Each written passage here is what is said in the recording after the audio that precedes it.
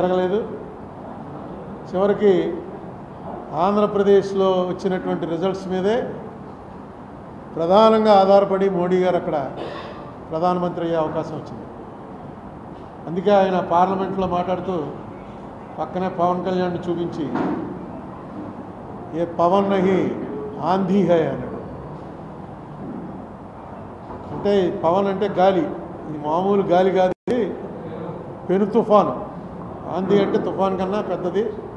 ఉప్పెన్లు మన దిరిసే ఉప్పెన అలాంటిదన్నమాట. నిన్న కూడా పదవి స్వీకారంకి వచ్చినప్పుడు చిరంజీవిని పవన్ కళ్యాణ్ని కావలించుకుని ఫోటోలో దిగాడు.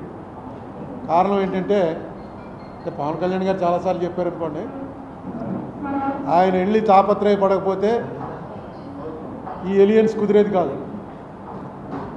ఈ ఎలియన్స్ కుదరకపోయినా ఇక్కడ చంద్రబాబు నాయుడు పవన్ కళ్యాణ్కి వచ్చిన నష్టం ఏం లేదు. ఏమో ఇంకా బీజేపీతో లేకపోతే ఇంకా ఒకటి రెండు సీట్లు పెరిగినేమో కూడా. మోడీకి మాత్రం ఈ ఎలియన్స్ లేకపోతే ఏమోనో రిజల్ట్ వచ్చాక తెలిసింది. రెండు వందల తొంభై మూడులో ఇరవై ఒకటి తీసేస్తే ఒక్క సీట్ ఎక్స్ట్రాలో ఉంటాడు. ఒకటి రెండు ఒకటి రెండు వచ్చిన వాళ్ళు దాదాపుగా ముప్పై మంది దాటున్నారు. అసలు మోడీ గారు ప్రధానమంత్రి అయ్యేవాడా లేదా అని కూడా అనుమానం వస్తుంది. ఇక్కడ మూడు పార్టీలు కలిసి పోటీ చేశాయి కాబట్టే మోడీ గారికి స్మూత్గా మళ్ళీ ప్రధానిగా పదవి స్వీకారం చేసే అవకాశం వచ్చింది. అందుకే ఆయన అక్కడ పార్లమెంట్లోనూ ఏ ఆంధీ హై అని చెప్పి పవన్ కళ్యాణ్ చెప్పాడు. ఇక్కడ కూడా వచ్చి వేరే ఫోటో సెషన్ చిరంజీవి పవన్ కళ్యాణ్ తోటి ఆయనే ఫోటోలు తీసుకుని ఎందుకంటే కరెక్ట్గా ఆయనకి తెలిసింది ఆ రోజున కనుక పవన్ కళ్యాణ్ కాళ్ళ వేళ్ళ పడ్డాడో కాలర్ పట్టుకున్నాడో ఏం చేశాడో కానీ పవన్ కళ్యాణ్ మాటను అంగీకరించబోయినట్టయితే ఈవేళ నా పరిస్థితి ఇది కాదురా బాబు అన్న సంగతి మోడీ గారికి తెలిసింది. అలాగే పవన్ కళ్యాణ్ కూడా ఎన్నోసార్లు మనకి ఇక్కడ రా ఇక్కడ ఆంధ్రప్రదేశ్ మీటింగ్లో చెప్పాడు ఆయన. ఈ ఏలియన్స్ అవడానికి నేను ఎన్ని పాటలు పడవలసి వచ్చిందో ఎన్ని మాటలు పడవలసి వచ్చిందో అని.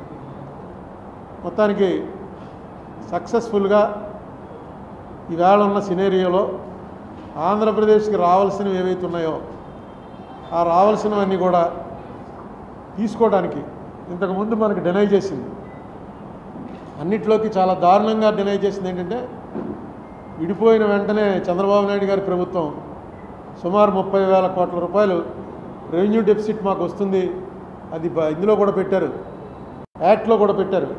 అని చెప్పంటే దాన్ని మూడు వేలకో నాలుగు వేలకో కుదించేశారు. అది మొన్న జూన్ రెండో తారీఖున కరెక్ట్ ఫిగర్స్ కూడా ఇచ్చాను మీకు.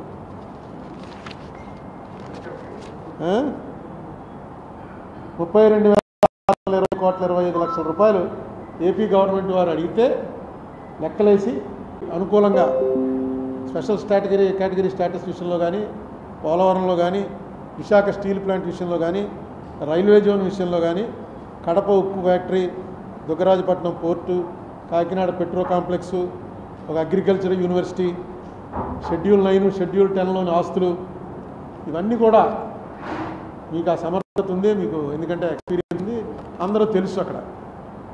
ఈ సమయంలో మీరు రావటం ఇంత పెద్ద మెజార్టీతో రావటం దీన్ని ఆంధ్రప్రదేశ్ స్టేట్కి అనుకూలంగా మార్చేటువంటి ప్రయత్నం మీరు చేస్తారు